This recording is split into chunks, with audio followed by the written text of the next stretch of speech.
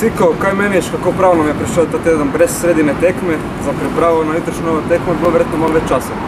Ja, bilo je več časa, ampak eh, neke razlike ni, ker eh, je enako tudi za nasprotnika. Um, smo pa to dobro izkoristili eh, in se lahko v miru pripravili na Koper. Marec, spiramo s tekmo v Kopru, kakšne so pričakovanja tvoja pred dvobojem proti tvoji nekdanji ekipi, ki so v zadnjem času dvignila v formi? Ja, tako je. Oni so zamenjali trenerja, dobili so nek nov zagon.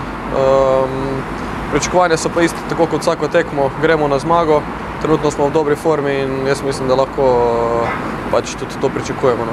Na lestvici smo skupaj z nasprotnikom izenačeni, imamo oboji 36 točk. Za kako pomembno tekmo gre z vidika nadaljevanja? Ja, gre za kar pomembno tekmo. eh, Tekme proti takih nasprotnikih štejejo celo dvojno. Eh, Tako da mi se bomo maksimalno potrudili in eh, poskušali izdržati pozitiven izkupiček.